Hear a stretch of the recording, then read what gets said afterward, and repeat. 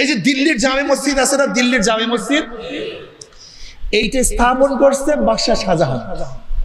বাদশাহ শাহজাহান হঠাৎ একদিন একটা স্বপ্ন দেখছে মসজিদের ঘুম থেকে ওঠার পরে সে নিয়াত করছে যে স্বপ্ন দেখছি মসজিদের আমি সেই অনুযায়ী মসজিদ করব কিন্তু ভুলে গেছে, মসজিদের ডিজাইন মনে নেই। আর্কিটেক্ট ডাকছে, এই, আসেন ডিজাইনার আমাকে ডিজাইন করে দেন, আমি মসজিদ করব।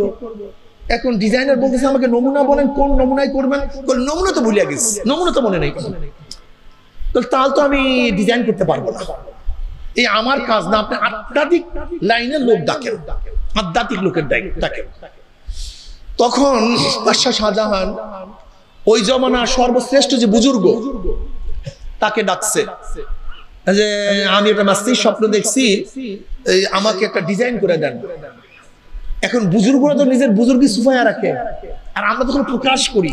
বুজুর্গি না থাকলেও প্রকাশ করি। এখন সে বলতেছে না, আমি তো বড় বুজুর্গ না বরং আপনার বাবুসখানায় যে বাবুর্সি, সে আমার চেয়ে বড় বুজুর্গ। আপনি তাকে ডাকেন। বাবুর্সিকে ডাকা হইল। বাবুর্সি বলছে, আমি তো বড় বুজুর্গ না। বরং আপনার মেতর খানায় আপনার বাথরুম যে সাফর করে, সাফ করে মেতর সে আমার চেয়ে বড় বুজুর্গ। আপনার তাকে ডাকেন।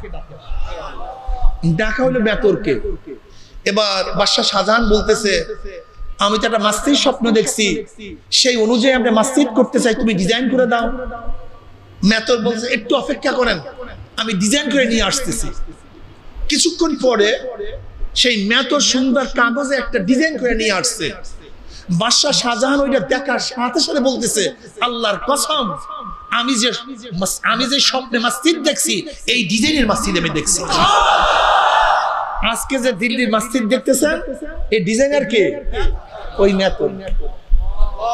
নেতো কিন্তু আল্লাহর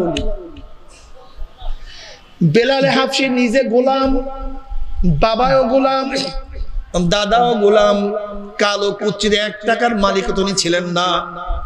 কিন্তু এত বড় আল্লাহর অলি এত বড় আল্লাহর প্রিয়। মেয়েরাজের রজনীতে জনাব মোহাম্মদ রসুল্লাহ সাল্লাহ আলাই আসাল্লাম পায়ের আওয়াজ পাইতেছেন। জিবরিলকে বললেন, ভাই জিব্রাইল, কার পায়ের আওয়াজ? সালাতু ওয়াসালাম বলছেন, বেলালে হাফসির পায়ের আওয়াজ আপনি পাইতে বেলালে দুনিয়ার মধ্যে, তার পায়ের আওয়াজ মধ্যে।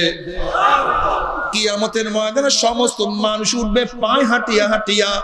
আর বেলালে হাফসি তার বুজুর্গির কারণে, তার বরক্তর কারণে, মর্যাদার কারণে কিয়ামতের ময়দানে উঠবে উঠে এর পিঠে চড়িয়া।